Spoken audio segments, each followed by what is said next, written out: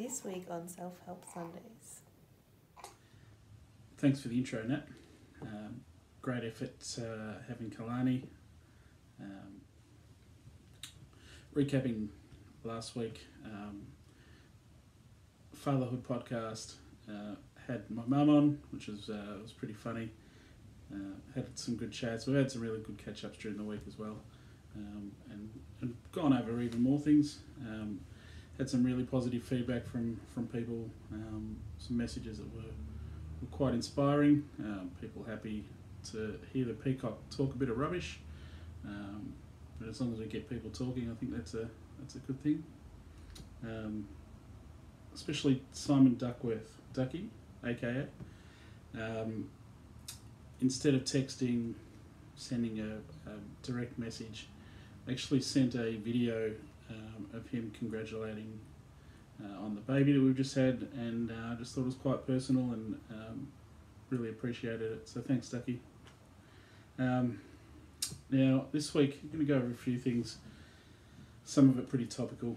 Um, there's quite a few things with, uh, obviously, we've just had a baby. Having a baby during COVID, um, I was really nervous about, a little bit anxious. Um, so I go to the shops, get bread and milk. Am I going to catch anything from the trolley, then bring it home, give it to Nat, Isabel, give it to the baby, um, infect the baby? Um, there's a lot of things that are unknown and questions that just couldn't be answered. Um, and then stressing quite a lot of about the what ifs, like we all do. Um, I think that's part of the, the issues, the unknown, and, and um, what if this happens, what if that happens. Uh, one of the big ones for me was if I catch something out and about um, and then have to go into quarantine and, and miss the birth of uh, our child, um, that would have killed me. It would have been really tough. Um, luckily, it all went really well. Um, on that, the, one of the pluses for that was in hospital, um, and sorry to in-laws and whoever wanted to visit, but it was kind of nice only having one person, support person allowed in to the hospital and not having visitors. Um, for a few things, it, it meant that Nat and I could um, just spend some quality time with Kalani, um, get to know him. Um, what a special bond in the first few days, few hours. It also meant that the um, the midwives and nurses and doctors could actually just do what they're there to do, and they didn't have to go get vases for flowers or tell anyone else what room such and such is in. And Auntie Mavis coming through with all sorts of boiled lollies and stuff. It was really good, and uh, having having a chat with a few of them, they tended to think that uh, if they could keep it like that going forward, they would. Um, it meant it was more relaxed for everybody. Um, I think the mums and dads were more relaxed and they could spend quality time without any stresses uh, with their newborns. Um, and that being the trooper she was, we had the baby uh, about 5 a.m. Sunday morning. Sorry, we didn't, Nat did. Um, and then we she was gone by, uh, we were home by midday uh, Monday, so a bit over 24 hours. Um, it was a, a pretty intense, crazy time to be uh, in in the room having the baby, the birthing suite. Um, I've got to say, I had a bit of a joke about it at the time. It was, it was quite funny. I was standing there assisting two midwives, basically doing everything, and then just telling me what to do, and I felt really useless. And then, as soon as I realised that, I thought. Um, that's really selfish uh, and a, a, bit of a stupid thing to think about. It's got nothing to do with uh, what you're doing and how you feel. At, at, that point in time, it's about getting out a, a boy or a girl safely uh, and looking after the wife and, and making sure everyone's in a good headspace, a good, good spot to be in. But I thought it was, in reflection, it's, it's probably um, quite healthy and quite safe to feel useless in that way uh, instead of bottling it up um, I said it straight away to the, the midwives and, and Nat, and we all had a bit of a laugh. And I said, Well, there's, there's nothing really I can do here apart from holding your hand and saying how good you're doing. And um, I think we can bottle things up and um, let them get to us and fester. And then once it gets to a certain point, breaking point, um, the lid comes off and, and we tend to um, do something stupid. Um, and it, it's just much easier talking about things as they, they pop up. Um, but yeah, feeling useless in the uh, the birthing suite was quite funny. Um, of all the places, uh, I will tell you that it's a really bad place for dad jokes. Um, there's probably only three or four that most dads make in those instances, and I've got to say none of them are good. Um, soak it all up, uh, enjoy the moment, and I think uh, everyone's is better off in the end. Um, but we got a little baby boy, Kalani James, out of it, um, fit and healthy. Um, that's all you can ask for. Um, also, uh, with things like that popping up, uh, it, it brought a few things up for me on mistakes on in parenting that you think you've made, um, and then on reflection, a week later, months, years later, it actually um, has turned out being a, a blessing in disguise. Um, I think most people know my story. Um, fathering uh, a boy when I was 21, um, young, stupid, uh, very selfish. Um, I'd always grown up saying that when I have a kid, um, I'll always want to be there for them, never want to run. Um, you always want what you didn't have for, for that child. Um, so I said I'd never run, and then at the split moment that uh, someone says, Kyle, we're having a baby, um, you shit yourself and uh, you know you're not really looking after yourself at the moment. You don't think about the pain that you've gone through um, and you run. Uh, so I did that. Um, ran from my issues, ran from my problems, um, and for quite a few years I, I, put that to the back of my mind as much as I could, um, and trying to um, tell myself that I was doing the, the right thing and um, running from the issues uh, was the last thing on my mind. I thought oh, I'm making the right decision for the kid and rah, rah, and then every now and then you it would pop up that you were actually doing what you said you would never do. Um, I thought that was a, the hugest mistake, biggest mistake. Um, and it, it, it, cuts in and affects everyone differently, but uh, for me, self medicate. Um, it's uh, hit the alcohol uh, and, and whatnot and push it out of your mind. You, you try and live the, the life of um, those sorts of parenting um, commitments don't matter. Um, and I was doing exactly what was done to me, so I know where it came from. I had an opportunity to stop that in its tracks, and I didn't feel quite bad about that. Um, it took me quite a few years to get um, Connor uh, back on side with me and, and his mum to, to trust that I wasn't going to run away again and be stupid and um, actually do what I said I was going to do. I think one of the last things I said when uh, when she goes, uh, "How can we believe that you'll be here?" and I just basically said, "Well, you can't." Um, what will will justify that and, and confirm that is when one day we look back and you say, "Oh, yeah, you were right. You you did actually do what you said you were going to do." It took me quite a few years to get Connor back on side and. Um, with how everything's panned out, we've had uh, I met Nat, we've had Isabel, um, we moved out to uh, near Connor as well, so we can all spend time together. And now we've had little Kalani James. Um, it's been spectacular. So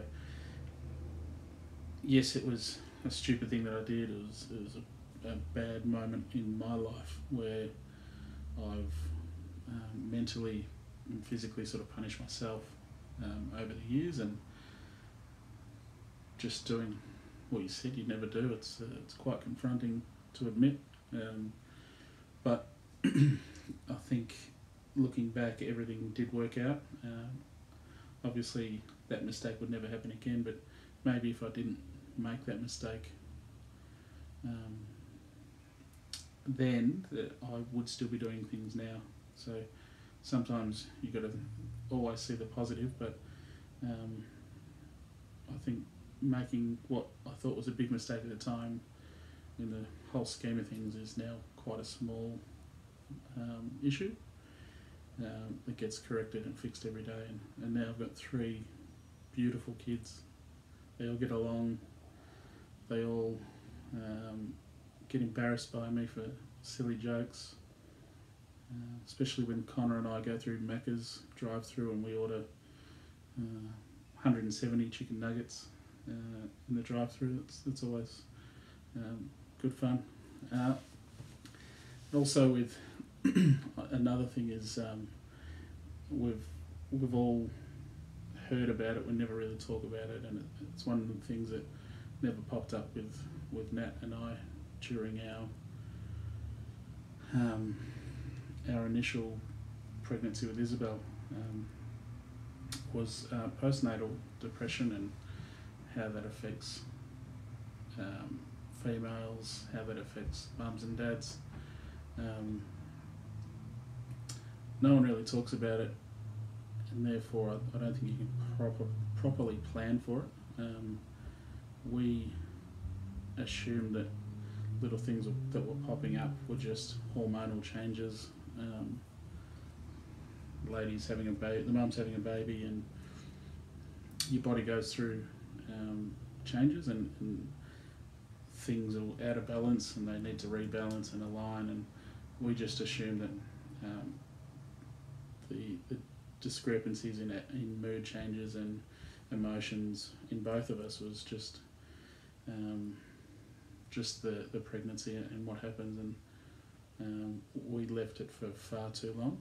Got got to the point of, um, of no return and it, it was quite confronting. So I think in from me if I was to give advice to any anyone um, if you're feeling those changes um, emotionally, mentally, um, you just need to talk about them. Um, we talk about it all the time before the pregnancy, during, um, and, and certainly after. Uh, there's no surprises anymore. Um, I think it's one of those things that we can discuss and, and we know what to look out for. So if the slightest thing pops up now, we, we're on the front foot and, and chatting about it and um, discussing it with friends.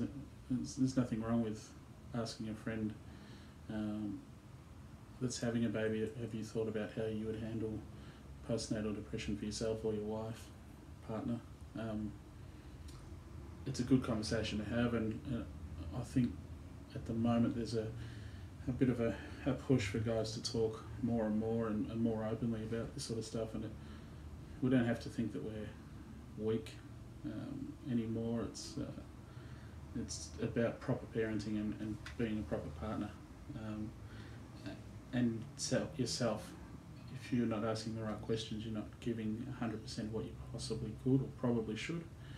Um, so I think that um, probably lends into a, a bit of the, um, the mental health spruiking that people are doing currently. Um, everyone knows Wayne Schwass. Uh, he's a massive advocate for, for guys supporting each other and speaking up and um, not feeling as if it's uh, we're being weak. And I think we we've been programmed over ages to think that uh, guys don't talk about their emotion, guys don't have suicidal thoughts, um, guys don't get angry.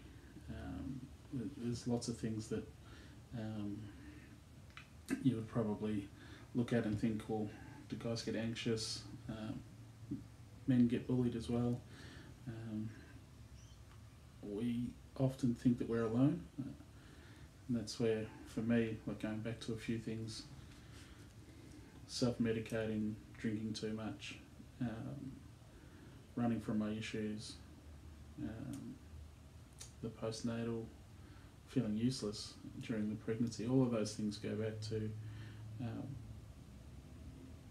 thinking that I was alone or I am alone, and, and no one is. Everyone's um, got a, a friend out there or someone that they can they can reach out to.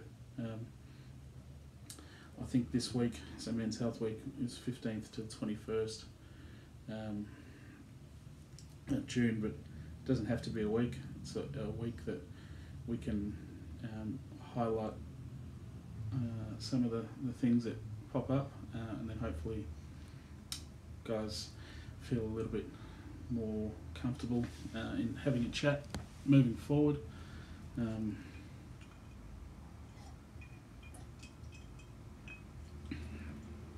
uh, on that too, um, for anyone that's watching this, um, friends, anyone that, that's, if you're willing to listen, and so am I. Um, I want to try and get um, something started where people don't feel comfortable, don't feel uh, strongly enough or confident enough about talking on issues. Um, you don't really want to reach out to your friends or family or anyone and say, um, got an issue, got a problem. Um, I'd like to to see someone post uh, just them having a milkshake. Uh, could be on Facebook, Instagram, could be a photo, just could be some text. Um, at such and such cafe drinking a milkshake. And what I see out of this is if I uh, see any of my friends or, or anyone tag me in a, a milkshake post, um, I'll reach out to you uh, as, as soon as I can um, and and see if uh, if I can help or just a chat. You want to have a have a talk. Um, but I know if you post anything to do with a milkshake, a photo, or, or just tagging yourself in having a milkshake from the fish shop, um, anything like that, um, I'm more than happy to reach out. And if you're willing to, to put that out there, uh, then so am I. Uh, I think it, it's something easy we can do. Um, coming from the alcohol industry, I think we we tend to turn to beer and whiskey and, and alcohol um, a little too easily, a little too quickly. I've done it myself. Um, so sometimes that can cloud the issues that pop up and, and um, having a beer and turn into having 10, 12 beers, then suddenly the issue is worse than what it was to start with. So, yes, it is great to catch up and, and have a beer and a chat and um, talk with your mates. I think it's also um, quite responsible in a, a good way that um, maybe you have a milkshake, talk about it when all of this blows over and we can finally go out and see venues properly and um, catch up with friends and family. Um, maybe down the coast, you might go for a drive um, and get a stop somewhere and get a milkshake. Just tag yourself in it. If I see it, um, I'll respond pretty much straight away. We'll just keep it in the DMs, in the messages. Um, but yeah, if anyone's feeling um, like it's a bit too much or just want to have a chat, want to talk about anything that I've been through, uh, there's there's plenty more. We'll, we'll, certainly get to it over time, but um, I'll be more than happy to, to have a chat. Um, I've also got a, a bit of a uh, something else that popped up. Um, more light-hearted note was um, feeding at night. Now, man boobs are there, but they're not milk boobs. Um, you want to be supportive to your wife, your family, and get up and help during the night. Um, help with the feeding and all of that. Everybody needs sleep. Um, we're, we're all going to work better if, if we're properly rested. Uh, you feel pretty pretty useless if you you're breastfeeding, your wife's breastfeeding, and um, she needs to get up and either express or actually feed, and then there's no real reason for you to be up anyway, and you're sort of getting in the way, but you can't really sleep because then you become that dad that isn't helping. So get up, make a cup of tea, get your wife some water, biscuits, um, do what you can to make them comfortable. Maybe as soon as the feeding's done, grab the baby, um, and and she can go back to sleep and, and rest up. But it, it's just one of those funny things that no one really warns you about, and just pops up, and you think, well, why did no one say this? Um, but anyway, and look, it, there's plenty of things that uh, we can discuss on men's mental health, parenting, um, all of those. So if you've got any questions or you want to see something um, in a future um, episode, just let me know. Message me through. There's uh, Self Help Sundays on YouTube, um, or just direct message me personally, um, and I'll I'll try and fit it in. There's there's plenty of things. What I've done is and go through is it's not the right way or the wrong way, and I'm not saying it has to be this. You've got to do it my way and all of that. I, I think just the fact that we're talking about it um, is a is a win, and the best way to um, to move forward is to, to learn about the processes and what we've done in the past, and the more we talk about it, the better we are. Um, and we, in end of the day, we just want to be better, better parents, better people, better partners, um, and I, I think it's uh, it's a beautiful thing. We're, we're all getting together. Footy players are doing it, athletes, um, local guys at the pub are actually talking these days, or when they open. Um, so we don't have to be scared or worried uh, about opening our um, our minds and our voices and, and letting people know um, it's okay to be insecure um, and have emotions and um, I think we're on a we're on a pretty good path. Um, so we'll see how we go. Now, most people that know me, um, I'm going to try and end this on a, a cheerful note. Most people know me; they know that my enthusiasm outweighs my ability. Always thought I was a great basketballer. I was just taller than the other kids. It's the only reason I was good. Never learned to jump. Um, I thought it was funny. I found a trophy. It's one of those participation trophies that they give the kid in the team that is not good enough to actually get proper ones. Um, Belgrade basketball from 88 89. Now, the importance for me finding this was 89 was the year my wife was born. So I said to her, when you were born, you were a superstar. I was mediocre at best. So I got the participation award. Um, I just keep it on the desk now with Clancy the camel behind us. Um, everyone knows I'm an amazing joke teller. Just want to leave you with a couple of things, one of mine and then one from the book. Uh, if you throw a pencil in the air, is it still stationary? No? Okay. Um, how long does it take to buy a Mexican dog? About two hours? uh, there'll be more of that to come following up, but um, hope everyone's uh, enjoyed this. If you haven't, that's that's cool. If you have, fantastic. Um, I've enjoyed it. It's a bit of a mental uh, health check for me. Um, feel really good. Or, nothing's wrong. I just like talking about this sort of stuff and um, love the possibility of helping someone, even if it's just one person. Um, to me, that makes a great day, great week, great year. Um, if I can turn around on my deathbed and say I helped someone get through something, um, then that's uh, I've had a really good, good career. So thank you for listening. I think it's time I put up a couple of cocktails um, how tos, and well, I think we've got a, um, a cooking video to pop up soon also. So um, stay tuned. Thanks for listening.